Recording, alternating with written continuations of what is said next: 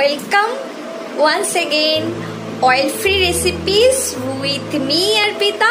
Today's recipe, oil free samosa or in Bengali shingara.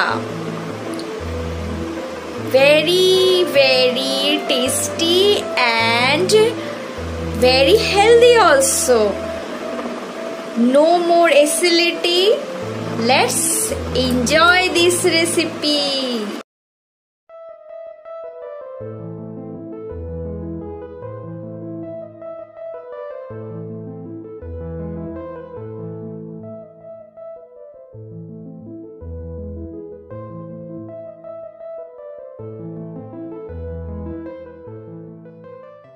so, so, so.